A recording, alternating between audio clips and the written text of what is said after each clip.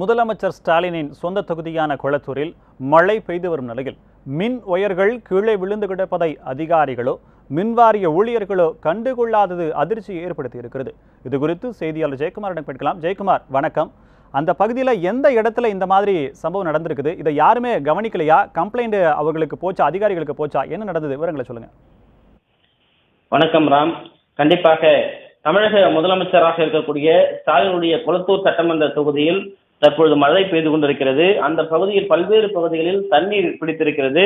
குறிப்பாக நான்கு மாதங்களுக்கு முன்பாகவே கொளத்தூரில் இருக்கக்கூடிய கொளத்தூர் அதை சுற்றி இருக்கக்கூடிய செம்பியம் திருவிக்கா நகர் அதே போன்று கென்னடி தெரு பாரதியார் தெரு கென்னடி சதுக்கம் உள்ளிட்ட பல்வேறு பகுதிகளில் சாலைகள் தோண்டப்பட்டிருக்கின்றன. தோண்டப்பட்டு பள்ளமாக இருக்கிறது. அங்கு வாகன ஓட்டிகள் மிகுந்த சிரமத்திற்கு ஆளாக இருக்கிறார்கள் அந்த பகுதியில் தற்பொழுது ஒரு மின் மாற்றிகள் ஏராளமான பெட்டிகள் வைக்கப்பட்டிருக்கின்றன. அதிலிருந்து அதி மின்னழுத்தம் செல்லக்கூடிய அந்த மின்சார கம்பிகள் அனைத்தும் சாலையில் விழுந்து கிடக்கிறது. தண்ணீரில் அவை மறைந்து இருக்கிற காரணத்தினால் அதில் யாராவது தெரியாமல் கால் வைத்தால் கண்டிப்பாக உயிர் இருக்கக்கூடிய ஒரு பரிதாப நிலைக்கு தள்ளப்படுவார்கள். குறிப்பாக இது தொடர்பாக அந்த பகுதியில் இருக்கக்கூடிய மின்சாரத்துறை அலுவலகத்துக்கு தகவல் தெரிவித்தும் இதுவரை கண்டுகொள்ளவில்லை என்று அந்த பகுதியில் இருக்கக்கூடிய மக்கள் குற்றம் சாட்டியிருக்கிறார்கள். பொதுவாகவே கொளத்தூர் சட்டமன்ற தொகுதி என்பது ஒவ்வொரு மழைக்கும் அந்த சட்டமன்ற தொகுதி மக்களுடைய பல்வேறு இன்னல்களுக்கும் தொல்லைகளுக்கும் ஆளாகக்கூடிய தொகுதியாக மாறி வருகிறது.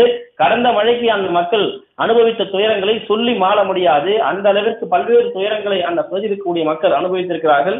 இன்றைய தினம் தற்பொழுது அந்த மின்மாற்றியில் இருந்து செல்லக்கூடிய அதிக மின்னழுத்தம் கொண்ட அந்த ஒயர்கள் அனைத்துமே சாலையில் விழுந்து கிடக்கிறது.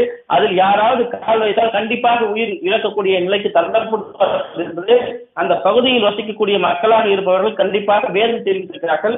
உடனடியாக குறிப்பாக அதனை அந்த அதிகாரிகள் சரி செய்ய வேண்டும் என்கிற ஒரு கோரிக்கையை முன்வைத்திருக்கிறார்கள். குறிப்பாக அந்த பகுதியில் இருக்கக்கூடிய மக்களை சமூக வலைதளங்கள் வீடியோக்கள் மூலமாக பதிவேற்றி வருகிறார்கள். அந்த பதிவும் நடைபெற்று வருகிறது. எனவே சம்பந்தப்பட்ட அதிகாரிகள் உடனடியாக நடவடிக்கை எடுக்கப்பட வேண்டும் என்கிற கோரிக்கை வைத்திருக்கிறார்கள். இன்றைக்கு கூட வேளச்சேரி பகுதியில் அதாவது துப்புரவு பணியாளராக இருக்கக்கூடிய ஒருவர் அந்த விஞ்ஞானியுடைய உயர்பட்டு உயிரிழந்திருக்கிறார். பரிதாபமாக கடந்த அதாவது ஜனவரி பிப்ரவரி மார்ச் மூன்று மாதங்களில் நூற்றுக்கும் மேற்பட்ட மின்சார ஊழியர்கள் எந்தவித பாதுகாப்பு பாதுகாப்பும் இல்லாத பணியில் அமர்த்தப்படுவதால் அவர்களும் உயிரிழந்திருக்கிறார்கள். இவற்றையெல்லாம் கருத்தில் கொண்டு செயல்பட வேண்டும் என்று குளத்தூர் தொகுதியில் வாழ்கிற மக்கள் கோரிக்கையாக வைப்பது குறிப்பிடத்தக்கதுதான்.